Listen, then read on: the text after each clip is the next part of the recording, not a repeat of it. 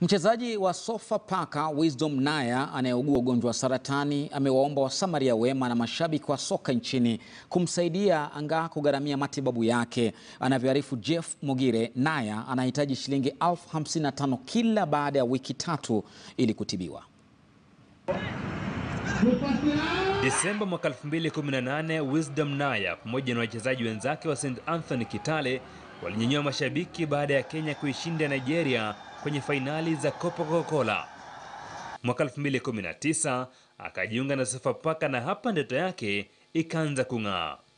Nilikuwa na high hopes naye sana, na hata alipokuwa naanza kucheza mpira nikamwachilia, maana nikajua kwa sababu hicho ni kipaji chake. So wakati alichukuliwa na Sofapaka nilishukuru Mungu, nikasema maono yake yamekamilika, na nikaona ana, a, atacheza mpaka nchi zingine.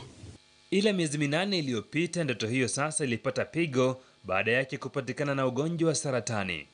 At first nikafikiria tu ni knock ya kawaida but ndo after some treatment ndo aka confirm si a normal injury.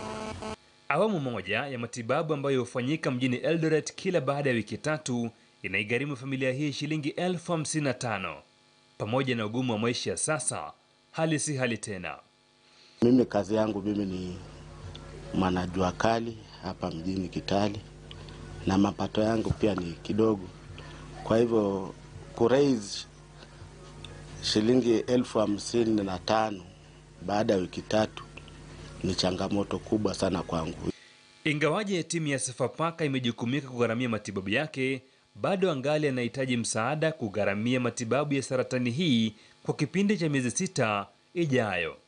Naomba tu uh, Wakenya na hasa pia timu ambayo kijana wangu alikuwa akichezea Sofapaka na well wishers wowote wasimame pamoja nasi.